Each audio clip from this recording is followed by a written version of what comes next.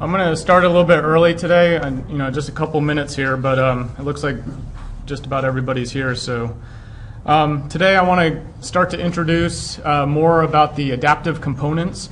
So far, we've gone over the curtain panel pattern-based family, which was you know basically you make a element that was tied to a grid, and then it could repeat um, across the surface.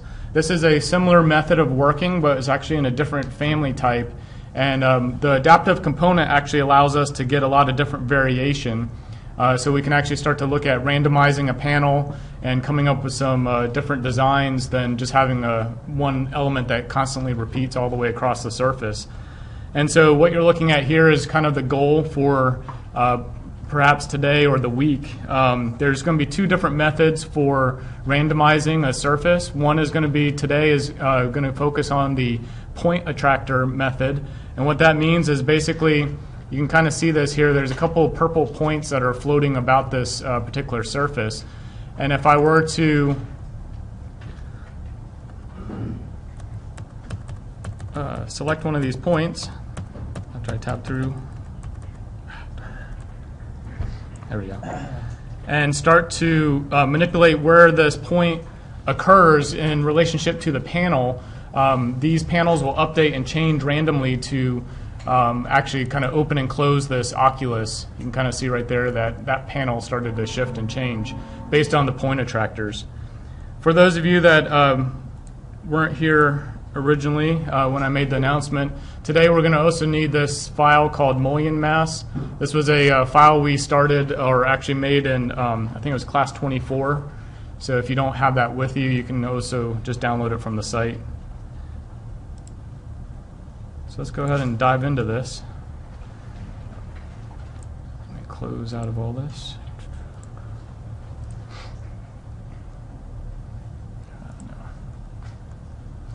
So you should have this one file open called mullion mass, and this is going to be an element that we're going to use to generate kind of the frame around this uh, particular component, and then we'll go over some methods of creating some, you know, making this component actually have a little more depth to it.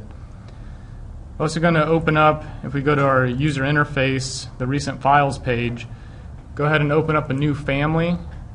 And we're going to be working within the file called, or the uh, template called generic model adaptive.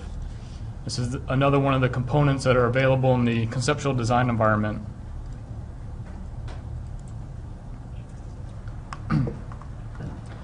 Can usually tell when you're in the uh, massing mode because the screen always has this kind of gradient gray in the background. Normally, when you get, go into the other files, you don't really see that in the 3D view.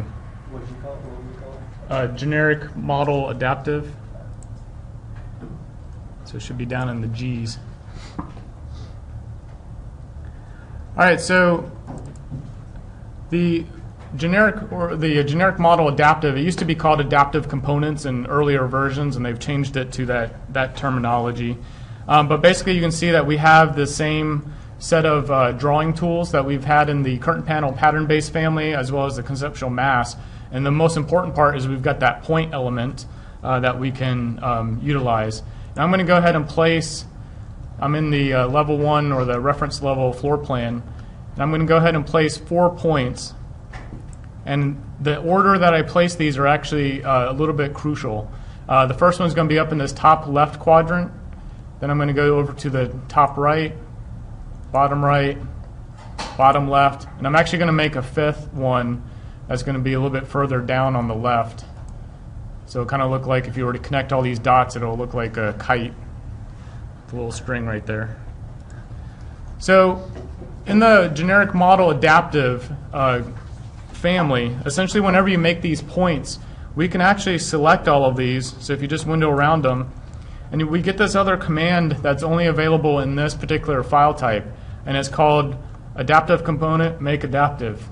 We click on that, and basically what it does is it turns all of those points that we just placed into uh, a numbered point. You can see they're numbered in the order that we placed them.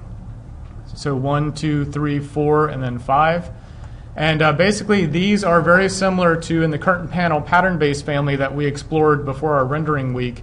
Um, essentially, remember that there were points on the grid intersection that was uh, these kind of blue points, and they were also numbered one, two, three, and four. If you remember from that um, that template, let's go ahead and I'll just open that up real quick.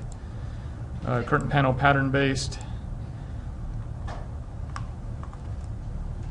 And so these were, um, they only showed the number once you selected them, but that one says number four, and so on. So the the difference between these two families is basically they are very similar into what they're going to do eventually, uh, but basically the underlying template is that the adaptive component is a little more freeform. It doesn't have to uh, um, rely on a grid that's already uh, down below it. Um, so that what happens is in this generic model adaptive family, you know, we can pretty much come up with any kind of shape or design that we uh, really want to go with. Um, what I'm going to do here is strike a couple dimensions here because I want to make sure we're kind of scaled correctly. So what I'm going to do is just make a couple dimensions from these points, and I'm snapping to the horizontal or the vertical line that's associated with the adaptive point. I'm not snapping to the point itself, but the actual plane. And that's important because that's going to move these points in the correct uh, dimensions. I'm just going to do the uh, top and the ones on the left, and then we can use our align command later. The reason I want to do this is typically when we divide up a surface, we're probably going to have a surface that has um, more dimensions that are more about maybe 10 foot by 10 foot in length. And so I want to kind of model, at least in the general scale, of uh, how this will eventually be placed. So I'm going to pick this first point, and in that dimension, uh, let's type in 5 feet on both vertical and horizontal.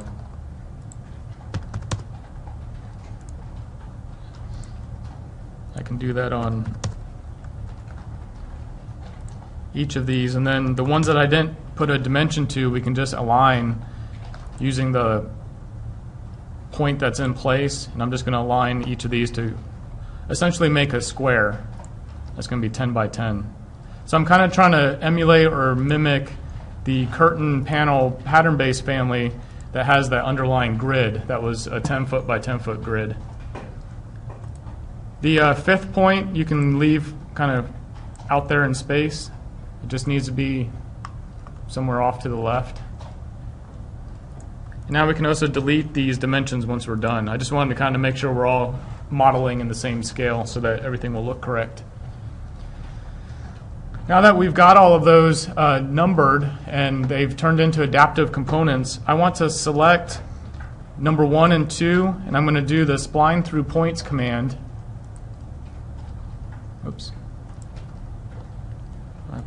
Select both of these, spline through points. There we go. And when that line is created through those points, I'm going to also turn that into a, a reference line by clicking on that box called is reference line. And I'm going to do that with all of these, kind of connecting the dots here. And the reason I'm only selecting one at a time or two at a time is so that we just get a straight line and we don't try to get a, a spline that tries to arc and curve. So each time we want to make sure those are reference lines. And then 4 goes back to 1 to complete the square. And the last one is going to be 4 to 5. We'll kind of create this kite tail.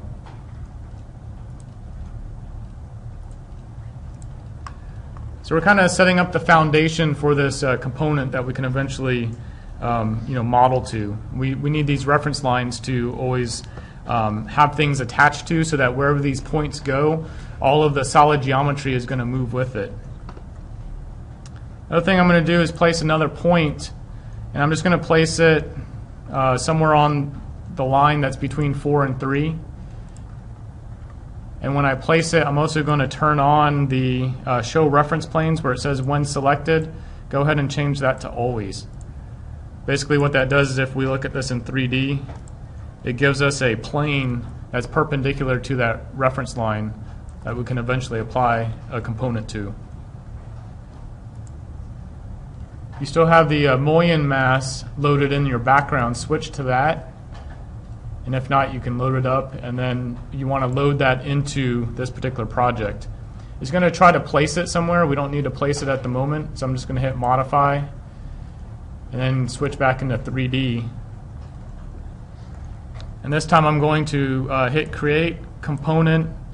And I want to be able to place this mullion on that plane. So if you recall from the previous week, if you go up to the options menu, we want to choose the uh, placement plane and select pick. And then we're going to hover over until we can pick that vertical plane that's perpendicular to that reference line. And then it's going to try to place this somewhere on that plane. I want to snap to the middle.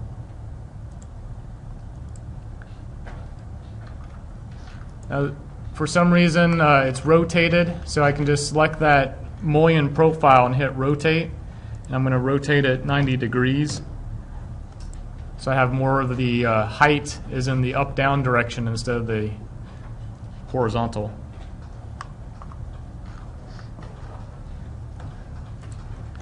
So we can select that uh, mullion profile. And one thing I want to do is because these were modeled with model lines, which means because we brought it in from another uh, family, if we drew these as reference lines, we wouldn't see them. But because we drew them um, back in that other class as a model line, they actually show up.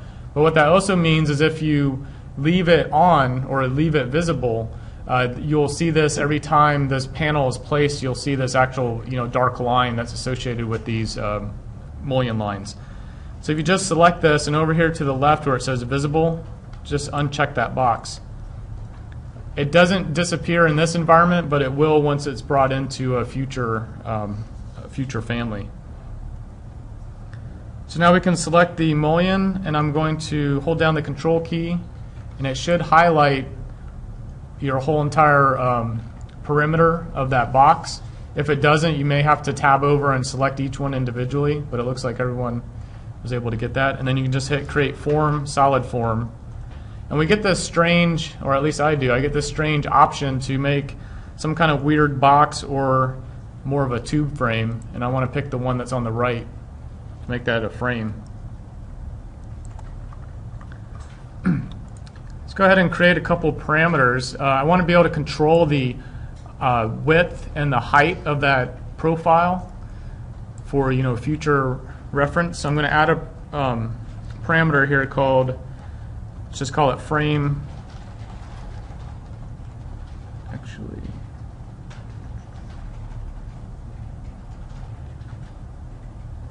yeah, I guess let's just call it frame height.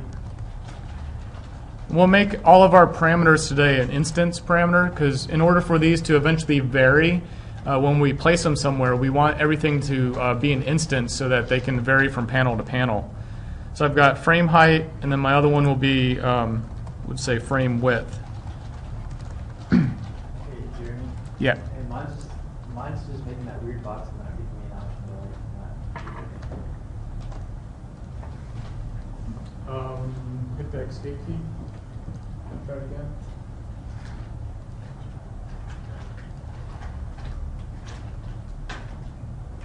Pick the one off the far right. Maybe the uh, thumbnails might have been off screen or something.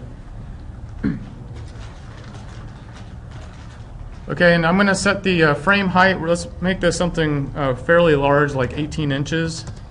And I'm going to do the frame width as, um, let's do about 6 inches.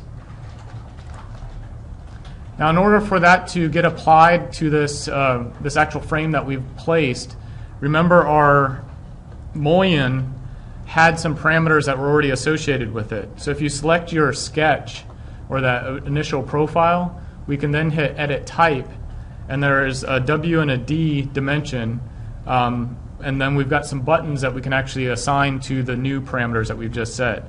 So I'm going to do the D, I guess I should have named these similar, but that will be the frame height, and the W will be the uh, frame width.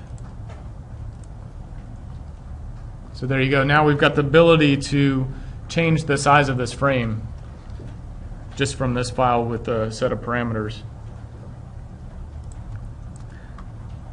Another thing I want to do is um, I'm going to eventually make a point in the middle and I want it to have some kind of inner thickness. So I'm kind of thinking that this frame is an outer uh, frame that at times will either be thicker than the interior or it could be um, you know thinner.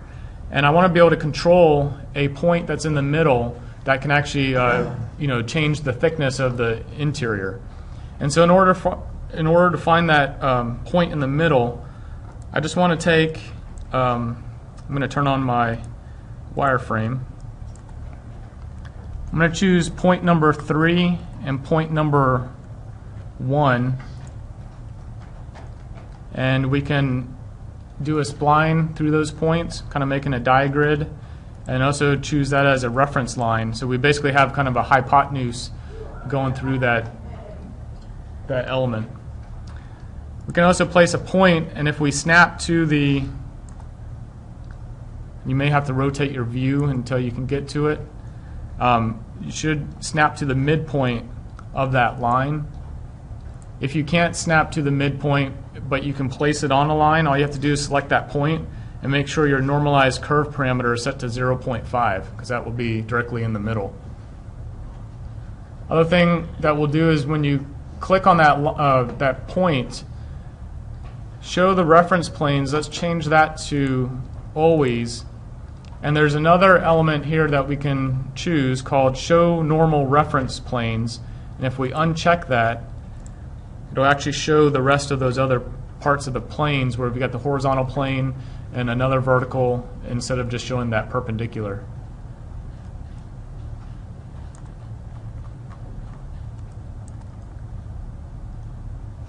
Go ahead and save this while we're at it. Let's call this um, adaptive oculus panel. Because we're going to have a void in the middle that'll be a, a circle oculus component. Now, while we're modeling in curtain panel pattern-based families and also these adaptive component families, one thing you have to keep in mind is that everything always has to be snapped to or connected to these points or any of these reference lines that are associated with those points. So what that means is if I want to do something that's in 3D that is off of this point, I have to associate other points and other components to this particular reference plane so that anytime I move these points, see how when I move these up and down, everything should start moving with it. To make that happen, we can place a point, so I'm going to hit point, and before I place it on the screen, change the placement plane to pick, and I want to hover over and select that horizontal plane that was associated with that midpoint. If you're getting really thick lines, you may want to turn your thin lines on which is turning off the line weights, but that little command up there will help. And I want to select that plane, and then I'm going to place a point off to the top, and I'll place another one off to the bottom. It remembers the last plane that you associated with, so you only have to select that once. By selecting that um, horizontal plane, what that does is now these points are going to be associated wherever this point is located, and when I click on e either of these points, if I change the offset over to the left, so I'm going to do a positive offset of, let's say, 5 feet, that point should move up, you know, in relationship to wherever that horizontal plane is. I'm also going to choose the other point, let's give that a negative offset of negative 5 feet.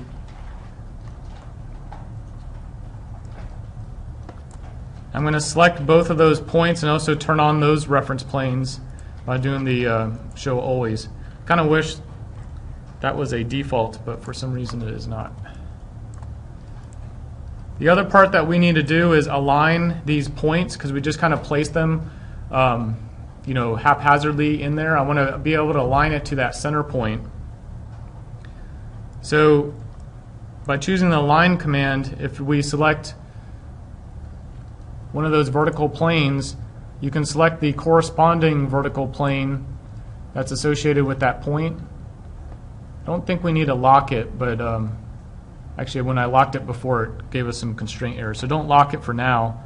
And then I want to select the other vertical plane, and that should get this aligned so that point is directly above. I want to do that on both sides, or both points. You may have to tab over to select those individual planes. So when you look at it in plan, you know, basically you should just see all those points relatively on top of each other. I'm going to move, um, actually with my floor plan, since we're modeling things that are five feet up and so on, I'm going to select this reference level. I'm going to change my view range so that the top is unlimited, the bottom is unlimited, the level depth is unlimited, and my cut plane is up at 200 feet. This way I can see everything that we have modeled.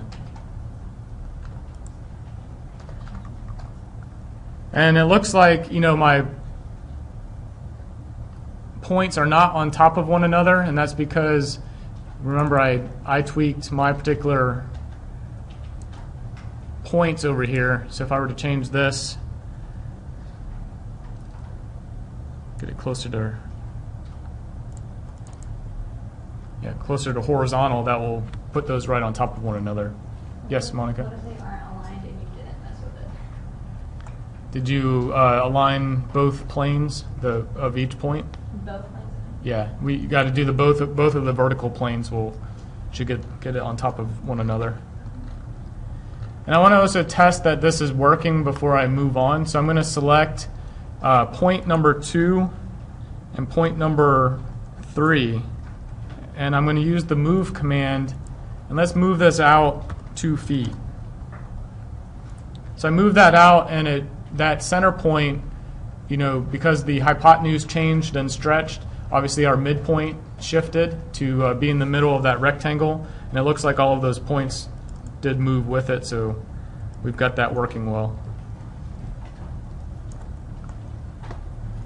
Every time you get something working, it's good to hit save, because when things crash, you might have to do all these things again.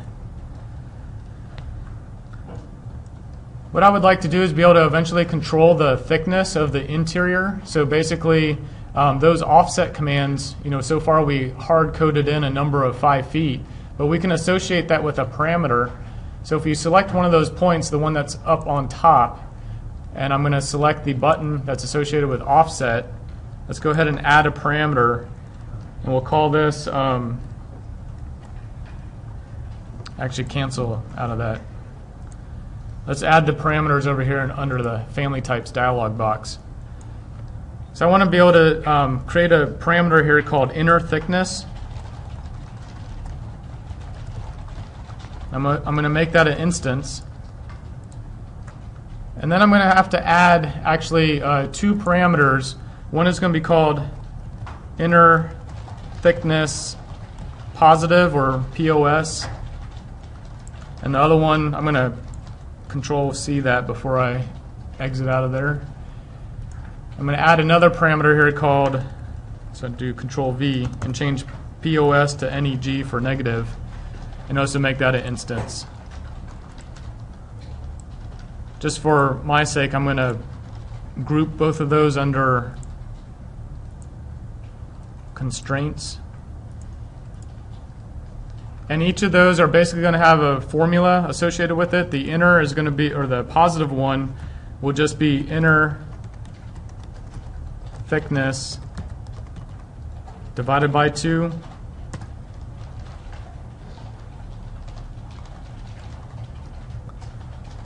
And the other one, if I control C that formula, just select negative and then in parentheses. So now if we give this an inner thickness of, um, well, let's keep, kind of keep it where we are. Let's say uh, inner thickness will be, instead of 5, well, 10 feet, I guess we could do 8 feet. So by ch- choosing the inner thickness, that's basically going to mean that overall thickness between those two extreme points, uh, you should have a negative 4 and then a 4, uh, positive 4. Now each of those points, the one that's up, you can go ahead and associate that one with inner thickness positive, and the other one should be the negative version.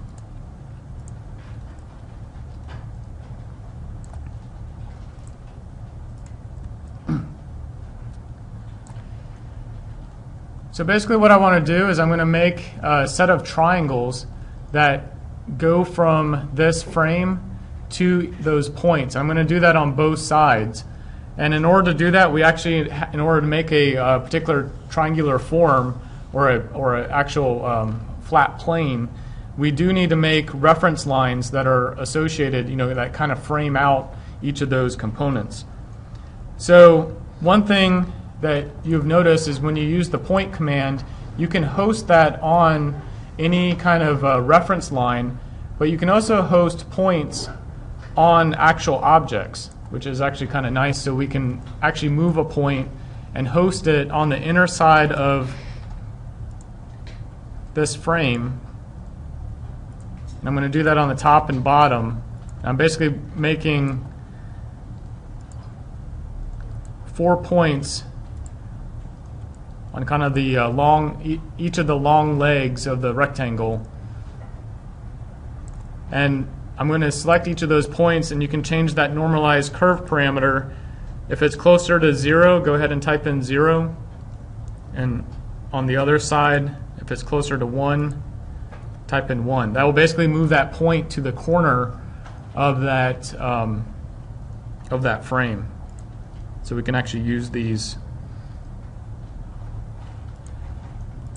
In this environment, you're always kind of um, using these points as a kind of like a connect the dots as you as you model. But these points are important because as your component shifts and changes, you need them to also move with the other elements in reference to one another.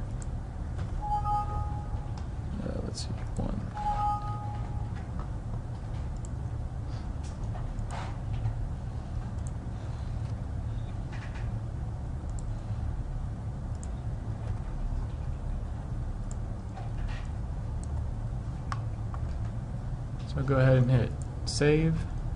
And then what we're going to do, and I'm just going to kind of go through this step by step. We're going to select each of these points, spline through points, turn it into a reference line. So I'm, and you got to make sure you're selecting that right point. And I do have to um, select the leg or the points that are down below down below on the frame. Helps if you hold in control. You've got to use the tab command a lot, but I'm going to also do a spline through points on that and make a reference. By making that a complete triangle, I can select that as a triangle and do create form, solid form, and this time instead of doing a solid, I'm just going to do a plane.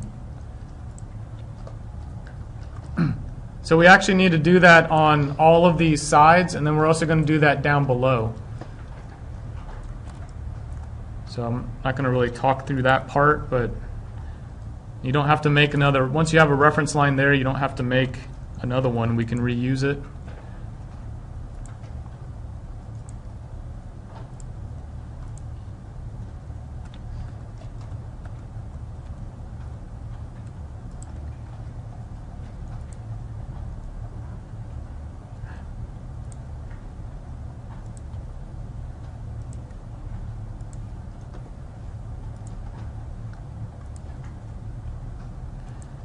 And if you're going to reuse the other one, you do have to Control C and select it. So you're selecting all the individual parts again. Do a solid form, and then we're going to make that a flat pa- panel as well. I'm going to go ahead and pause the video so you guys don't have to watch an hour. The shortcut, since I'm having to tab over this like 20 million times, I'm going to select everything. And if you click on Filter, check None, select Other, and then I'm going to, I guess I didn't really have to do that, but I just want to hide, if you go ahead and hide the uh, frame, guess I could have just selected the frame and hit hide. That would have been easier. This way we can get to those points a lot easier. There we go.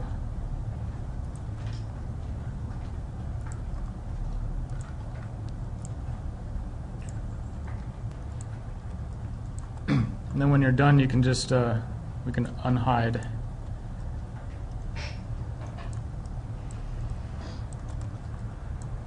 So by making all those connections, and I'll, I'll, if you guys can keep on working to catch up, But by making all those connections, basically now if we change our overall inner thickness, so if I were to change this to 10 feet and hit apply, you know, all those components are going to stretch up and down with it. Or I could also make it smaller. So if my frame is one foot six inches and then I make this go down to two inches, then I kind of get it, um, you, know, where it starts to slope towards the in, inside, almost like a drain. Go ahead and make my frame height bigger, and everything should also stretch with it.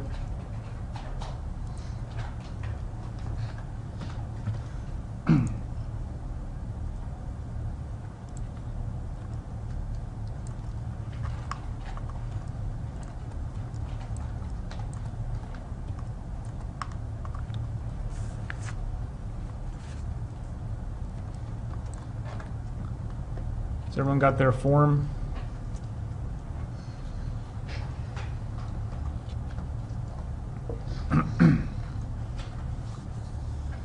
If you can only complete, um, you know, at least a top half or a bottom half, if you're still kind of working on it, at least get a um, either a top or a bottom. That, that would work out pretty well. So what I'm going to do is select everything and choose filter. Choose select none and then select other. That'll make it where it selects all the, basically the uh, solid geometry. And I'm going to go ahead and hide all of that, so all I see are my reference lines again. I'm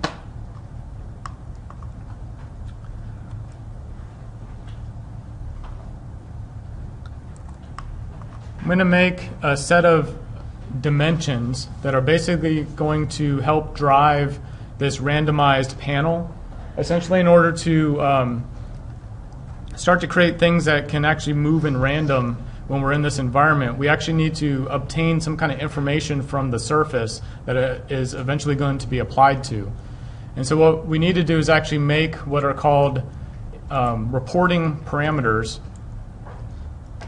And I want to be able to report eventually on what the length of this line between point 0.4 and 5 ultimately ends up being.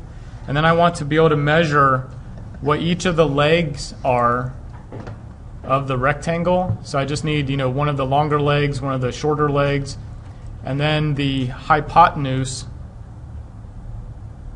Where'd my hypotenuse go? There it is.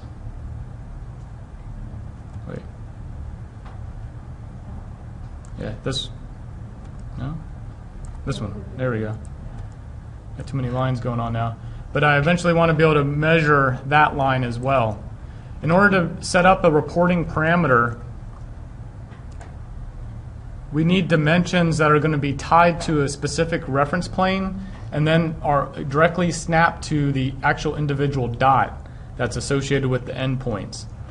So to do that, if I select the dimension, the line dimension uh, tool icon, we can go ahead and hit under work plane, choose set, and where it says placement plane reference lines, we can go ahead and keep that there. Oh, wait. Set.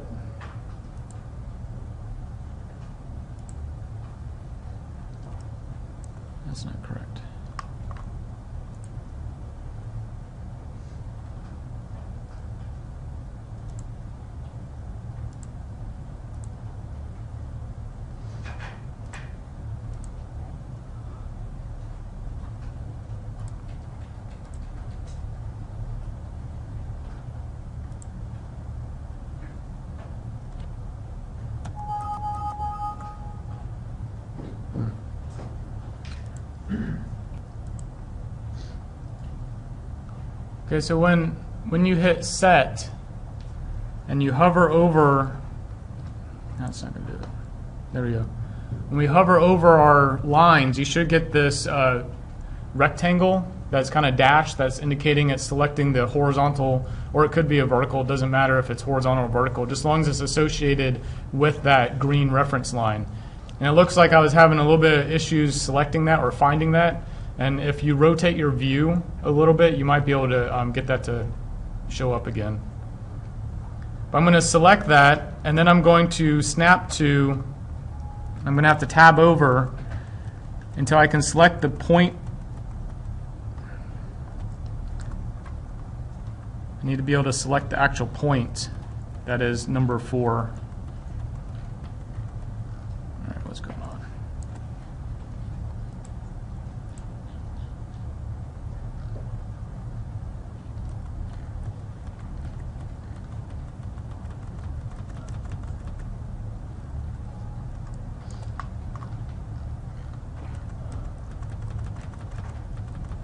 Okay.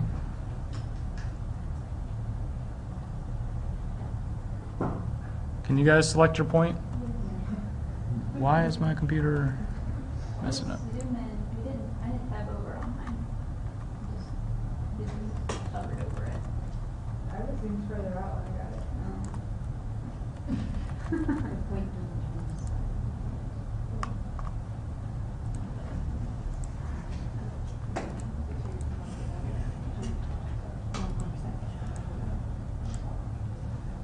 There we go.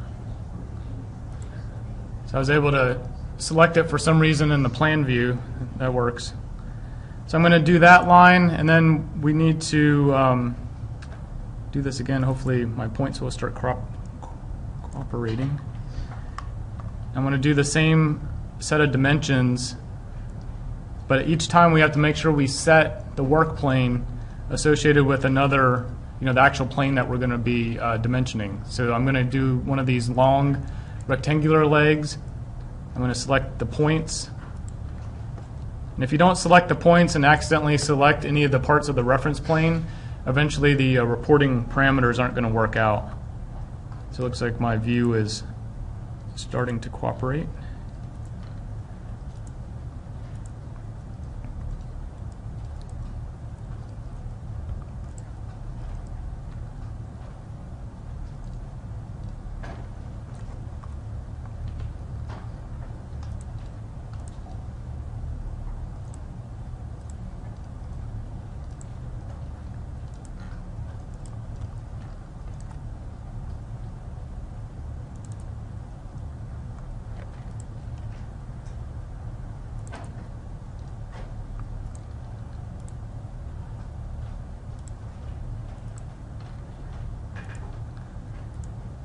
There we go.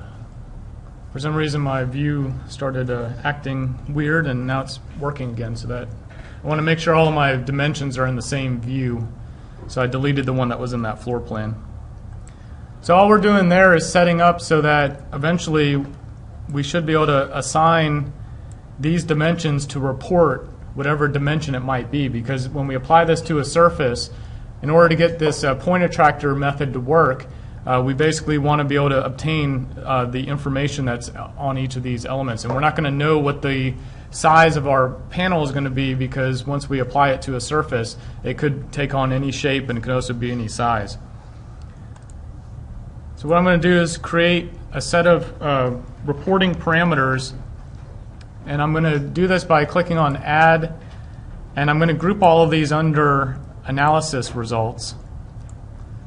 And I'm going to call the first one leg A. To make it a reporting parameter, we have to choose instance, and then you get the option to select reporting parameter down at the uh, that bottom checkbox. So we'll do another one here called leg B.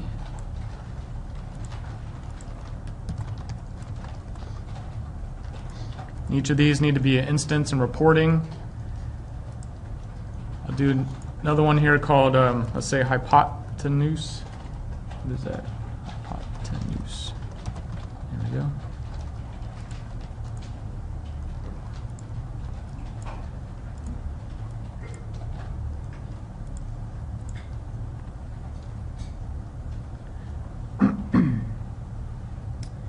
And the other reporting parameter will be, let's call it PT attractor. Point attractor length.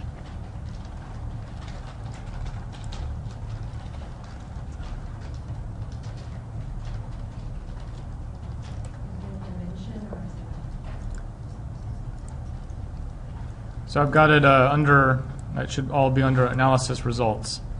So the reporting parameters, they look like the, the actual um, instance parameters, but instead of saying default, in parentheses, they'll actually say report, and they'll also be grayed out. We can't actually physically type in any information here because it needs to be obtained from some kind of geometry or those um, actual dimensions.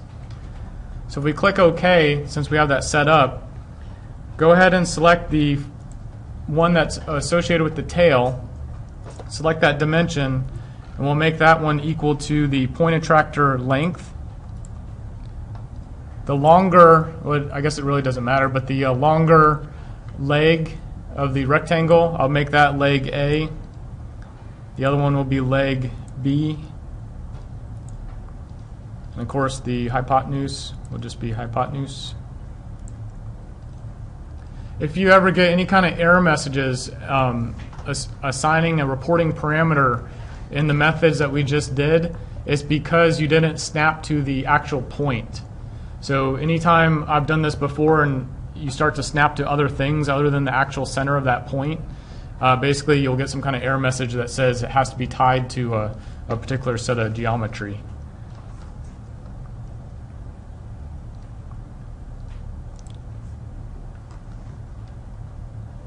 I'm going to go ahead and make our inner thickness, um, let's go ahead and make that a little more extreme again, like 10 feet.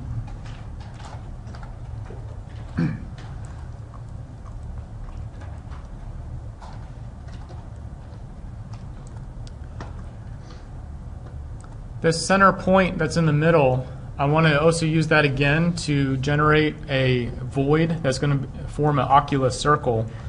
And so this is actually going to take a couple different steps because I've gotten it to work in mixed results, but um, we'll kind of work through it. I'm going to choose family types, and let's make another uh, parameter here called void extrusion.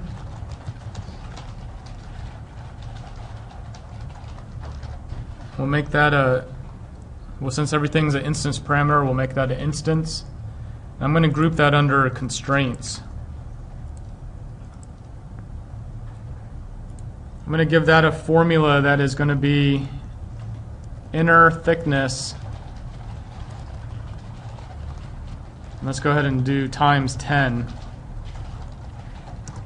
to ensure that our void eventually, you know, goes all the way out. Actually, that's probably a little too far, maybe times 5. In order for the void to actually cut anything, we definitely need to make sure it, you know, uh, the form passes through the solid geometry. I'm going to choose circle, and I'm also going to place this by doing a placement plane and selecting pick. And I want to select that horizontal portion of that midpoint. And then I'm going to snap to the center and just draw a circle fairly large. And while you're are at that point of drawing the circle, if you just finished it, you can hit that um, little dimension icon to turn that temporary dimension into a actual dimension. If you've already exited out, you could always click on that point or click on the circle again, and that would allow you to get that icon. We're also going to turn that into a reference line so that we can use it over and over again. Turn what into reference line? the circle. So when you select it, go ahead and make sure it says is reference line is checked. I'm going to go ahead and choose create form, solid form or void form, and I'm going to choose the one that is on the left that looks like it's moving in 3D. And I'm going to change this to have a positive, actually we can do positive, negative can be equal to the void extrusion.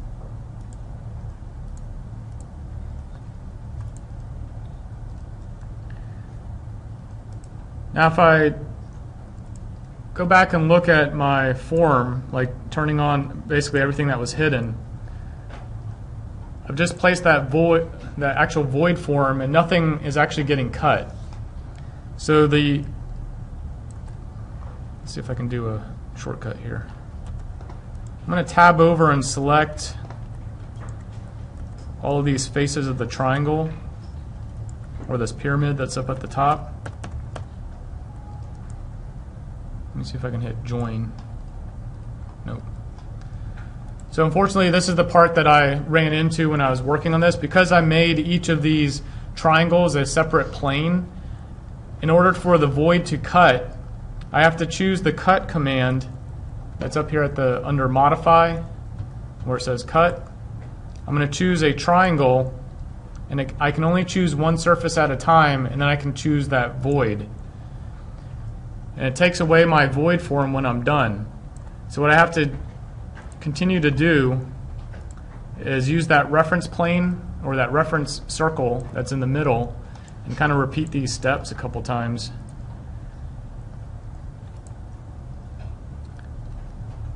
So I could really just, since I'm working on the top, make the uh, positive offset, the void extrusion.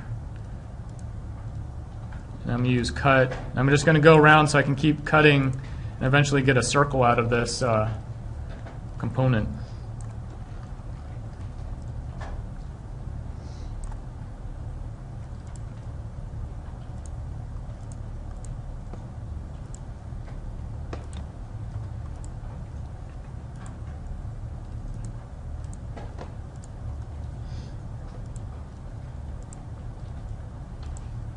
Go ahead and uh, I'm going to do that on the top, and I'm also going to do that on the bottom. So I'm going to go ahead and pause the video so I don't have to waste a lot of time.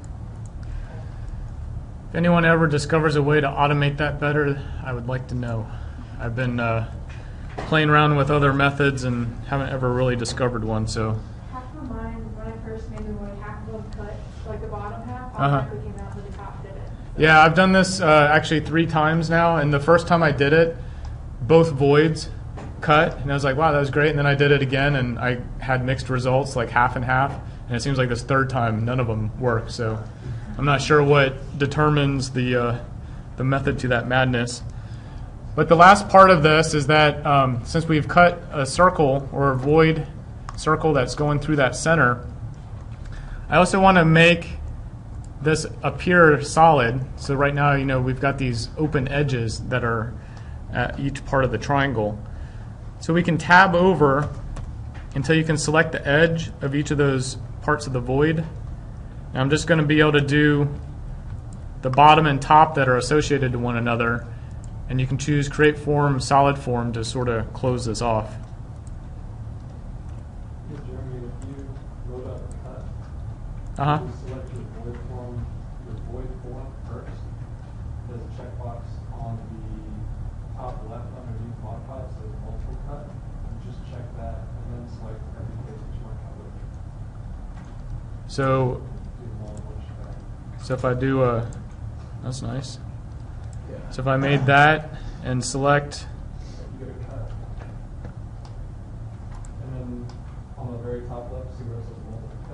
Oh, yeah. The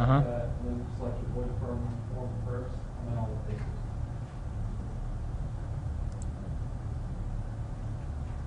and then I can go around and Yeah. Yeah, it will just, every time you pick, it will take it out. So that's good. That's good. I would have saved some time. Always forget to look in these little uh, bars up here, the little options bar. There's always some some little checkbox you can pick. But yeah, so if you pick that, it sounds like we can um, select that void and then select all the faces and get that all in one swoop. The um, last part is I'm going to continue.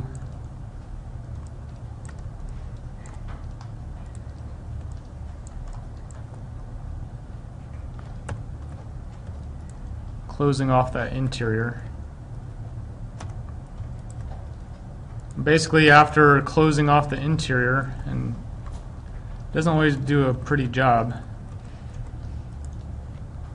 Have all kinds of problems.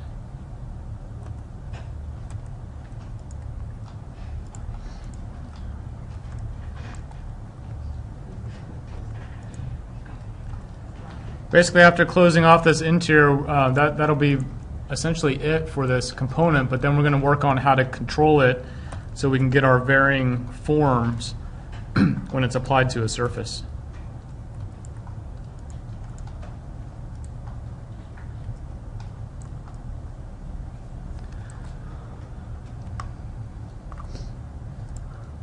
One thing I eventually want to do is be able to change the materiality of these solid panels. So the first thing is if you select the frame, where it says material, go ahead and click on that button that's associated or at the far right. And we're going to add a parameter, and let's call that frame material. You can keep that as a type for now. The reason it's going to be a type is that um, when I change the material, I want all of them to change at once. If you wanted to alternate, you know, materials like we talked about with the diagrid, you know, you could change it as an instance and then individually select certain components, and you could change, you know, ma- the materials that way as well. While that's still selected, I'm going to hide that frame. Then I'm going to select everything that's remaining, choose my filter, check none, and then select other.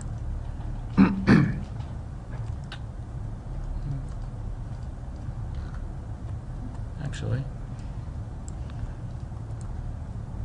check none mass.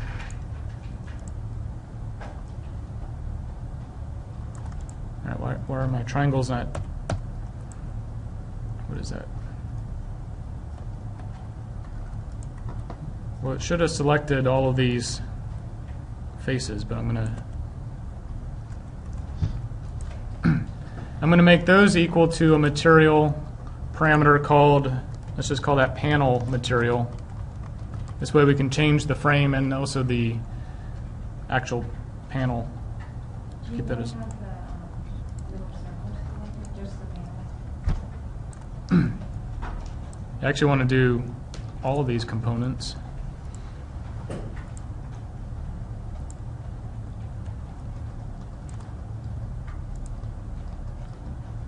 Panel material.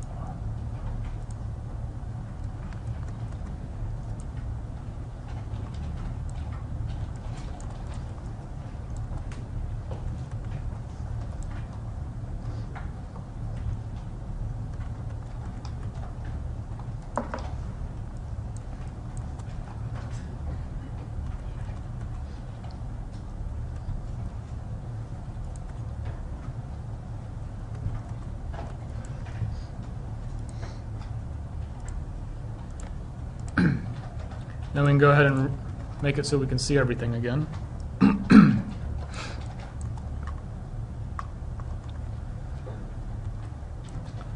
So I'm going to make a parameter here called void r because I want to be able to control the size of this oculus. So if we type in uh, void r, and I'll keep that under dimensions for now, that'll also be an instance. Let's go ahead and set that dimension that was inside that radius. Go ahead and change that and make that equal to void r. Let's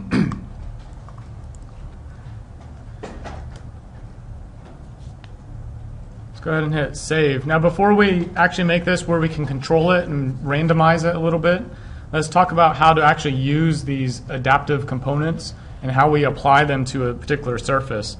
Now, remember, we've got five points and we placed them in a particular order.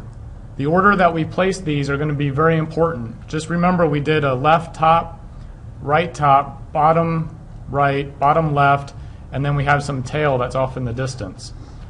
Let's go ahead and open up a new file, just the new conceptual mass, and select mass and open. In the floor plan view of the uh, conceptual mass, I'm going to use the uh, arc, the start end radius arc command. And I'm going to make a arc that goes up to the top. And I'll make another one that's connected, kind of like a little S curve. When we look at that in 3D, we can go ahead and select that curve, choose create form, solid form, and we get this surface. I eventually want to get um, different types of randomization along this particular surface. And so what I'm going to do is select the surface and I can add edges and profiles. And what that will do is start to split this surface into different parts and pieces. So I'm going to add a profile. I'm going to do one that's kind of in the middle. You can see how I hover over the vertical portion of that, and you should get a uh, ghosted curve that's showing up. And when I left click, that will place that panel. And what that means is now when I tab over, you can see how I, I've got this wireframe that's kind of split that into, it'll eventually be split into different uh, faces. I'm going to add a uh, edge by hovering over the kind of the center. I'm just going to kind of move along and get maybe two two additional edges on either portion of this. So when I tab over and select that, I've kind of got this divided up in the manner you see on the screen.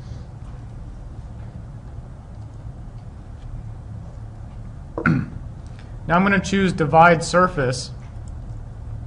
You're going to see I'm going to get a lot of different, you know, panels along here.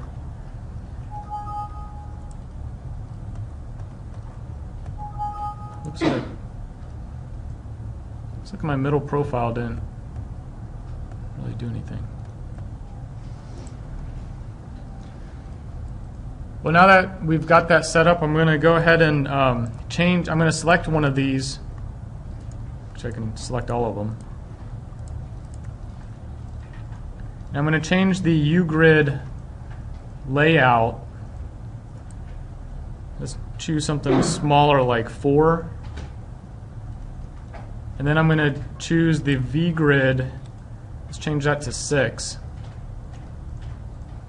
Maybe uh, 5. Basically, by doing that, I get these um, panels to be a little more rectangular instead of and a little bit larger. so if you remember from the last time that we did something similar, where we worked out our um, curtain panels and we applied it to this grid, if you remember when you select the um, actual grid, we could choose from our patterns to the left, and we could kind of scroll down and try to find our component. Let's go ahead and load this Oculus into the project family 3, at least in my case. And it's going to try to place that component somewhere. I'm just going to go into a 3D view and hit modify just to kind of escape out of that command. If I select this grid again and I try to look for it over here to the left, you'll notice I don't see that particular pattern in that menu that's off to the left. That menu that's off to the left is only associated with anything that's modeled in a curtain panel pattern-based family. So with the adaptive component, we actually need to place it on this surface. It looks like this last one I'm going to change the, uh, there we go. and in order to place this on the surface, I actually need to change I think I'm going to have to do this individually. I'm going to select one of the surfaces, or the divided surface, and up at the top here where it says surface representation, there's a little down arrow off to the right. When you select that, under surface, we can turn on the nodes of that particular grid. Mean, actually, looks like I can't do it when I select multiple surfaces, so I'm going to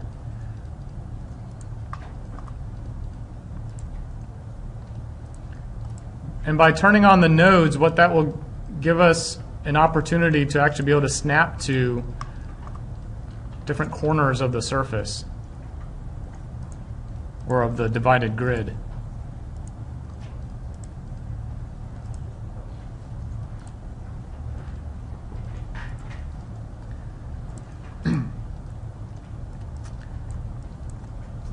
so once I've done that, I now need my fifth element, basically, if you remember our component had four points, it's going to snap to four components or four points of this grid, and then eventually it needs to snap to a point attractor. And that's what that little kite tail is going to be. So if I look at it, this in floor plan, I'm just going to go ahead and place a couple points here.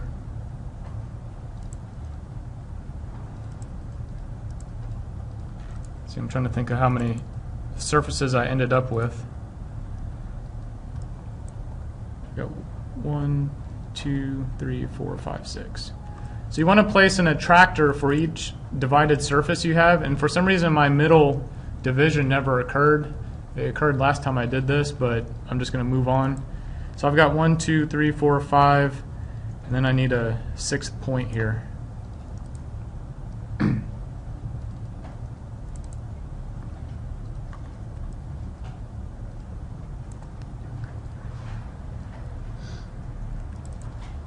Going to go ahead and select all of those points.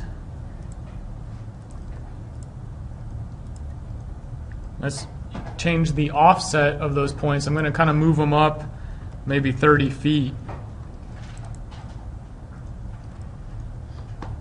Just so they look like they're about centered on my particular object or my surface. now here comes the fun part. I know this took a lot of steps to set this up, but the one thing to note is remember, you're just modeling this one little component that eventually gets randomized or repeated over a surface. And if you had to do this in Grasshopper, which most people who are doing these type of surfaces, you'd have to come up with a pretty elaborate script in order to make that work and then make it apply to your uh, particular surface. Also, if you were doing this in Rhino, let's just say you were modeling it. Of course, you'd have to model, you know, each of these components and you know physically make the changes as you decide to change things from time to time. Another nice thing about this um,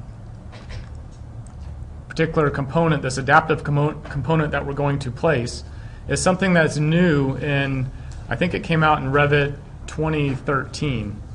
Um, so if you've done this on, I've actually done this before on Revit 2012 and, and previous to that, and it was a lot more tedious of a task. I'm going to go over a couple new commands here. If we go to create, I'm going to place a component. I should be able to find my adaptive Oculus panel should be highlighted.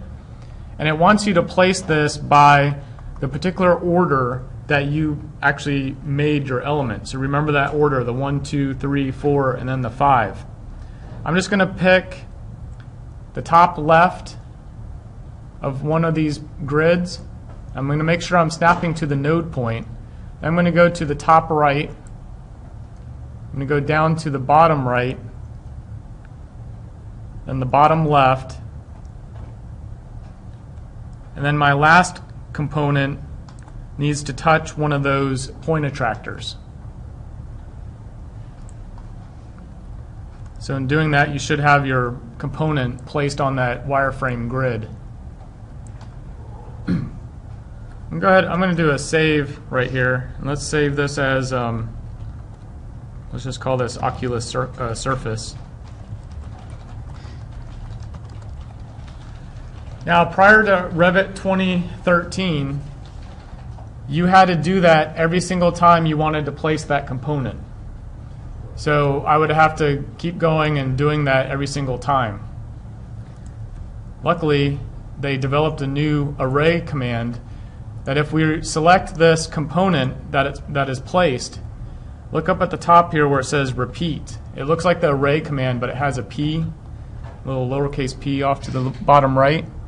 Go ahead and click on that. And what that's going to do is kind of remember the clicks that you made, and then it's going to array it across that particular divided surface. And it's always going to attach the tail to that point attractor. So if you kind of tab over you know, each of these ele elements, you can kind of see, or if I select that point attractor, it should select all those components. So I'm going to do that because because I divided this surface up into multiple gridded elements, I do have to place at least one on each of the grids and make it connect to another point attractor and then use the repeat command. If I had only had one point attractor and I did it all across the surface, and I only had one surface, this would obviously repeat all the way across. So again, if you missed that, I'm going to go back to component and I'm going to always place this in that same order. And this time I'm going to go to a different point attractor.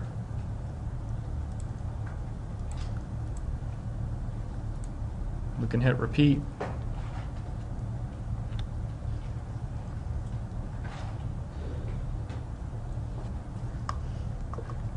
Now, what's nice about the repeat command is if I were to select my this gridded surface that was associated with that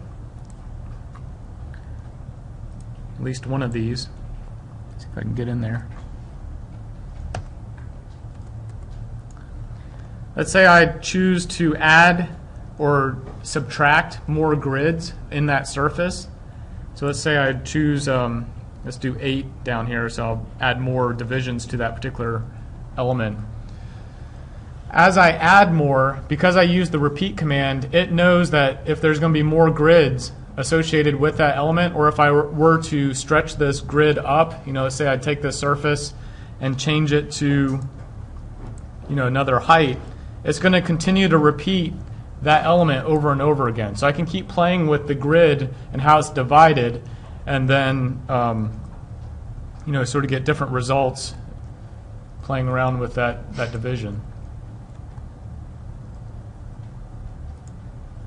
So I'm going to go ahead and place these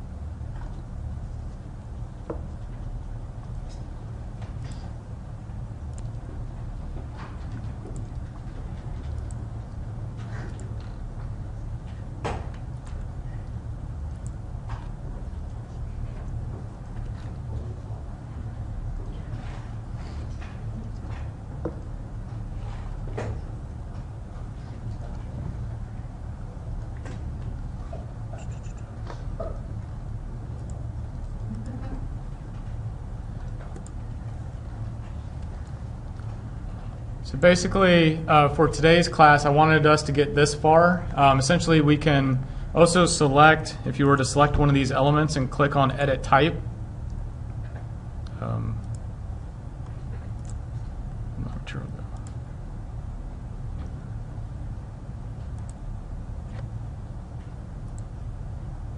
I'm supposed to be able to.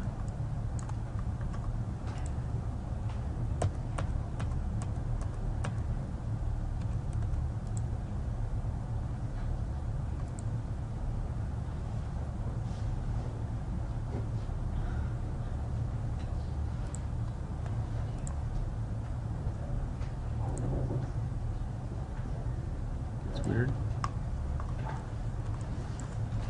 You should be able to select your component, and click on Edit Type, and our materials would be available. For some reason, that's not working, so Um, you need to change the family to adaptive Oculus panel when you hit edit type. yeah, for some reason it says repeated component, default component. Then you go to edit type. So I'm going to actually, um, in order to do that, we need to we need to tab over that and right click and say select all instances and entire project. And change this to our adaptive Oculus panel. I hadn't seen that before. What happened? So now I got those. Now I have those parameters where I've got the uh, ma- panel material and the frame material, and so just like in the other classes, you can go back and you know add your uh, different materials and um, kind of start to get this to look more than just a, a gray object. What we'll do on um, Thursday is we're going to continue using this panel. So if you didn't complete it, please complete it by next class. Uh, get it to where it's set up with all those same parameters that we already have. Essentially, what we've done so far is laid the kind of the framework down so that we have a point attractor that's associated with a set of panels. Right now, when you move that point attractor, nothing happens. So we need to associate a couple more formulas and computational um, elements to that uh, particular panel to program it so that it will actually change in values as we um, kind of mo- move these point attractors closer or further away from the component. Also on Thursday, we're going to go over a method, another method for randomizing uh, that it will still use this panel, but we'll kind of modify it so that we can use it on a uh, gridded surface and kind of morph it into um, another something that's other than these perfect rectangular, um, you know, div- divisions across the surface. One thing to note is, you know, everything I've done so far has always been with a grid. You know, it's just a rectangle. If you remember, all of our grids or divided surfaces can actually have all of these additional types of patterns. So this one third step or half step, it still forms a rectangle. So I could also use that as a, a, a pattern generator. So I might actually experiment with that um, between uh, now and Thursday. But if you were to do the hexagon or an octagon rotate or any of these other uh, panels that you or these other grid gridded options that you see here, one thing to note is that when you turn on the nodes, obviously if you do the hexagon or the octagon, you're going to have more points that are associated with the node. Therefore, your node or your actual adaptive points that you make for your particular element have to match the grid that you're eventually going to use. So if you're going to end up with eight points, then you need to have adaptive. You need to have eight adaptive points. And if you're doing the point attractive method, you know you have to have the ninth point that's going to be off into space. So just keep that in mind a little bit. You have to do you do have to plan ahead before you make your component. You know exactly what type of grid you want to experiment with. So I'm going to leave it at that. Um, obviously, no homework unless you haven't finished your grid, and then we'll uh, continue on on Thursday. I'll stay for any questions afterwards. Thank you.